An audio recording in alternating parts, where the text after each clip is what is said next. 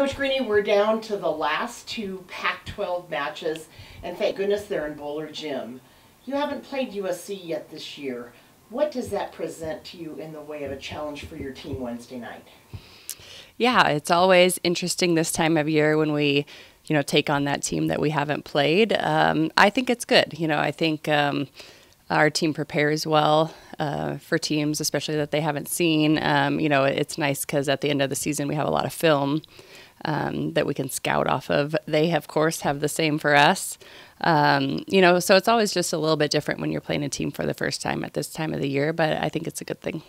Then you've got two days before you take on cross-state rival Washington, who's also playing for a conference championship. But the Cougars are playing for something very special this year too. Talk a little bit about how you're approaching these two matches. Yeah, you know, it's the end of the year. Um, it's crunch time.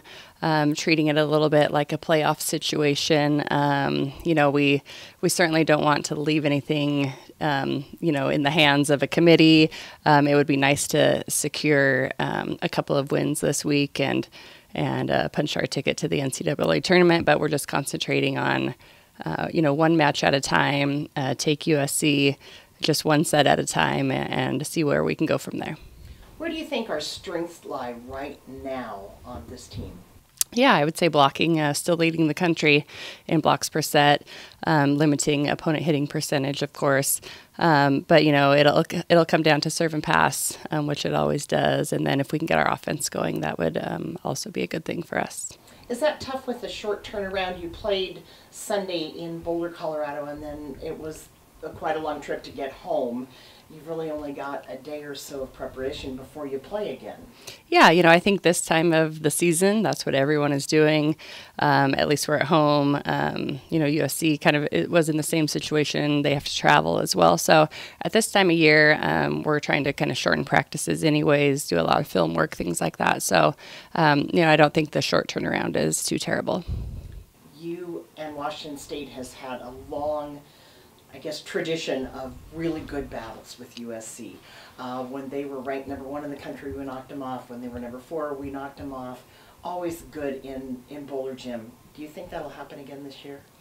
Um, well, you you never know. You know, everyone in this conference um, is really good, and USC, of course, every single year is good, um, and they're playing kind of for the same thing that we're playing for. So, um, you know, I think it'll be a good battle. Um, hopefully, we can get a lot of, um, you know, the local people that are still here in town, um, you know, bring families, things like that into Bohler Gym Wednesday night, and we can create a great atmosphere.